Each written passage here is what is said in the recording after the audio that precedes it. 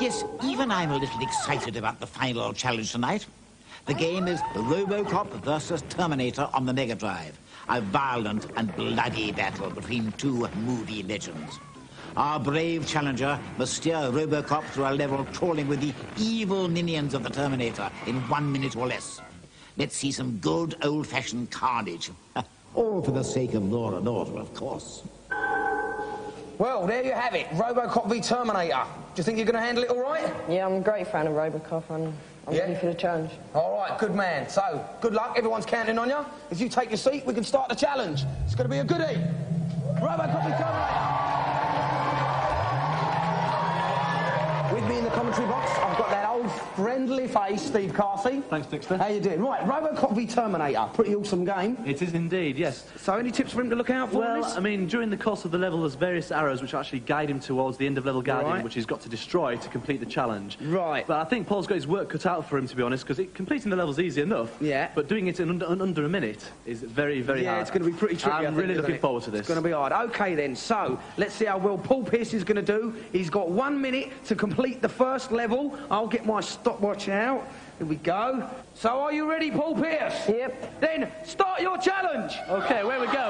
He's Okay, off. so on the left-hand corner, the top left-hand corner, you have an energy bar. Right. Every time he gets hit, he'll lose some energy. It's going down pretty It is rapidly. indeed, and as soon as it gets to zero, he will lose a life.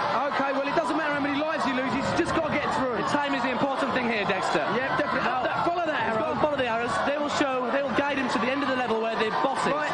And he's got to kill that boss to survive this level the and to uh, do the challenge. Oh, he's lost a life there. First life down. It's going to take up a bit of Now time. he's splashing there. You can see Yeah. when he's splashing, he's actually invincible for a few short seconds. Good. He's got 30 seconds left, so he better get a move on. He's doing well. He's not doing too badly. He's flying through this level He's doing the important thing here. He's actually not worrying too much about taking damage. He's just going for it. I Time is very idea. important. It's a pretty gruesome game, isn't Very it? gruesome. It should be an 18 certificate. Yeah, I think All you're right. Blood and guts everywhere. Look at that. Is Oh, there he's a- down it's again. down again. Another life. Is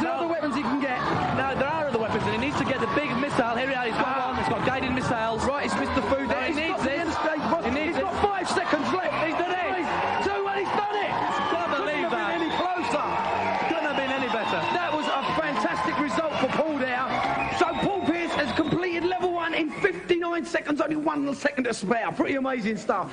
Let's give him a big round of applause. Good one. Thanks, Steve.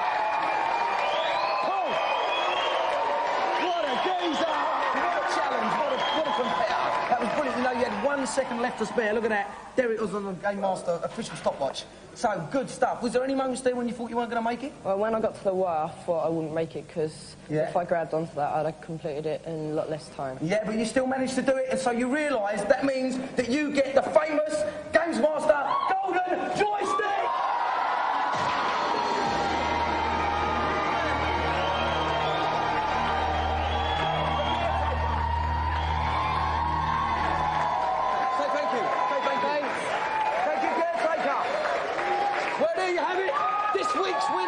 It is gone.